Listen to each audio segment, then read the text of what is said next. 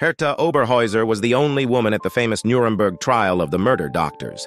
After 76 years, her atrocities and monstrous experiments on people still cause real horror. Herta was engaged in the selection of prisoners for experiments and observed their results.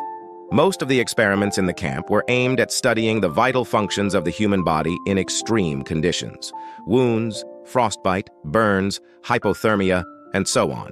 Herta assured that participation in the sinister experiments was the only chance to escape for the prisoners sentenced to execution.